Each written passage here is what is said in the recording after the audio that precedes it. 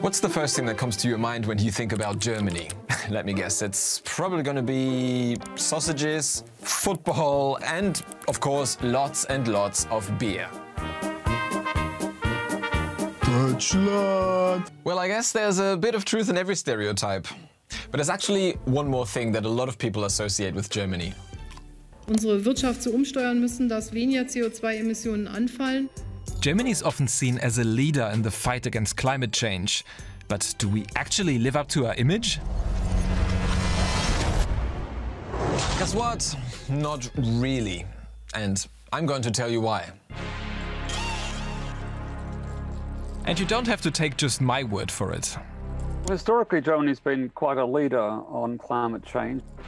This is Bill Hare, a top climate scientist. We have started in the 80s of the last century with uh, green politics, with recycling systems, with energy efficiency programs.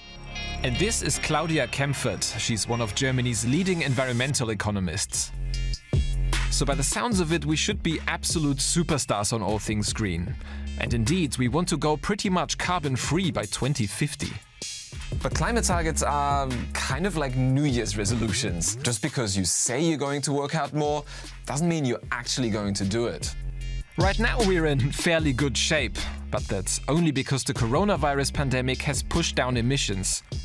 Once things go back to normal, we're going to be off track again.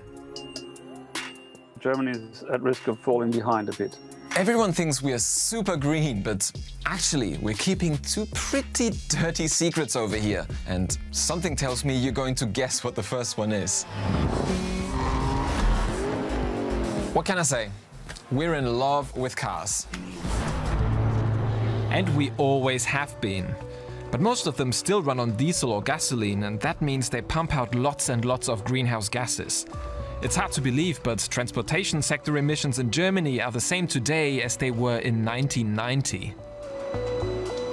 It's just a policy failure uh, of the last 20 years, uh, which is which we see here right uh, right now, especially on the transportation sector. Germany is a car country. Uh, we are producing a lot of cars. We have a very strong car lobby. And that car lobby has always been close buddies with the most powerful politicians. Abandoning combustion engines and going electric, that's costly and risky, but it needs to happen if we are to lower emissions. Other countries have already set specific dates for when they want to phase out internal combustion engines completely. France is at least aiming to have them banned by 2040, the UK by 2035, and Norway already by 2025. And what about Germany? A concrete ban um, is is not will not happen and is not happening in Germany because of because of the car lobby. To be fair though, we're not entirely stuck in the past. The government has plans to set up more charging stations, and there are subsidies for people who buy electric cars. Things are changing, just very slowly. It's true that some manufacturers such as VW are now investing really substantially in electrifying their their vehicle fleet that they're manufacturing. But the point is that that really needs to accelerate uh, a lot faster than uh, it has been. And what also needs to accelerate a lot faster is climate-friendly public transport. It's like a national pastime here to complain about trains being late, overcrowded and expensive, and that's because they often are. Can you believe Germany invested in building about 60 kilometers of brand new highways last year and just 6 kilometers of train tracks? So our car addiction is one big reason why we're lagging behind our climate ambitions. And then there's our second, even dirtier secret. There are still around 100 active coal power plants in Germany. They produce a third of the country's electricity, but compared to other energy sources, they are massive CO2 emitters. The good news is that we're shutting all of them down, the bad news, not until 2038. That's eight years later than experts say is needed to meet the Paris climate goals. Just have a guess when this plant started operating. Was it 10 years ago or maybe five years ago? Nope. It was in May 2020. It sends a very bad signal, actually, to the rest of the world. If the OECD countries uh, uh, need to phase out by around 2030, and Germany doesn't match that.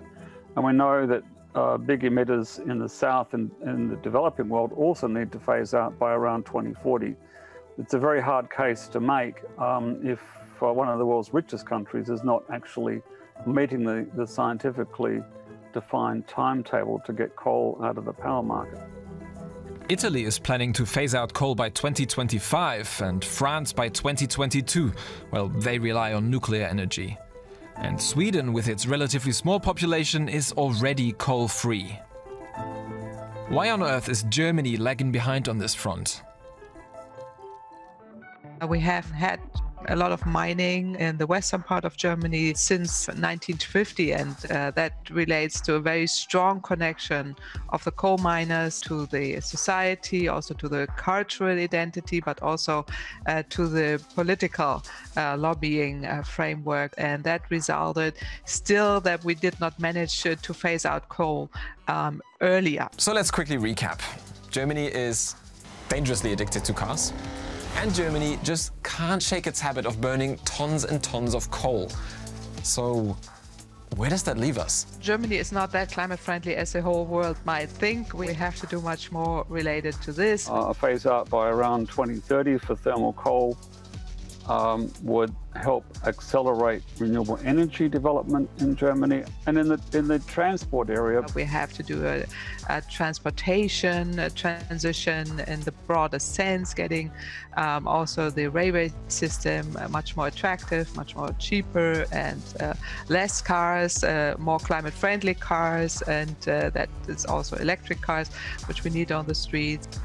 There's a lot to do, but hey, we've got an image to lose. We want to hear from you. Has this changed your image of Germany? And is your country doing enough to fight climate change? Let us know in the comments and hit subscribe for more videos like this every Friday.